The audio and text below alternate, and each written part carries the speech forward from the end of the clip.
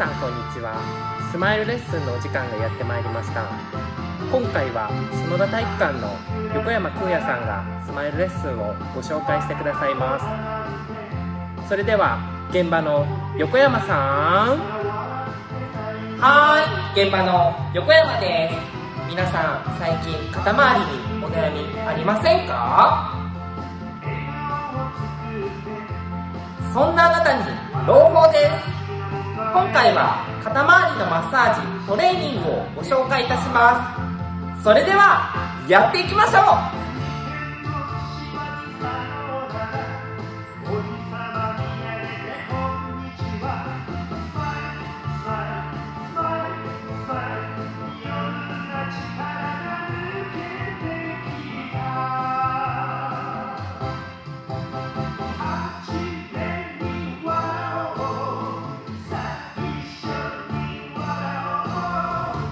肩を上げ繰り上がったところを指でつまみ前10回後ろ10回を各2セットずつを目安に行いましょう。肩をつまむ際力加減に気をつけて行っていきましょ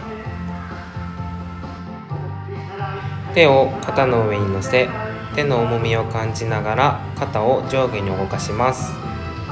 10回2セットを目安に行っていきましょう。肩をしっかり下げてから持ち上げることで効果がより高まります。胸を張り息を吐きながら肘と肘を近づけていきます。10回2セットを目安に行っていきましょう。この時に体が丸くなったり姿勢が崩れないように気をつけましょう。